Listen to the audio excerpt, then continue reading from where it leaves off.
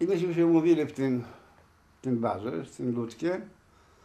I on mówi, słuchaj, muszę jeszcze wpaść do domu. Nie, nie wiele mówi bielizny. I po, no, z tej bicie na Mokotowską 24, to było przed pasem Babiciela, właściwie zaraz na Koszykową drugi dom. Po- Poszliśmy. I widzieliśmy taki moment, że jak idzie, wtedy po trzech chodzili w Niemcy z tymi blachami. I jak żeśmy się nagle strzały się zaczęły. To my do okna, patrzymy, rozbrajają tych Niemców. To chyba jednego zabili, już nie pamiętam dokładnie. No i no to powstanie.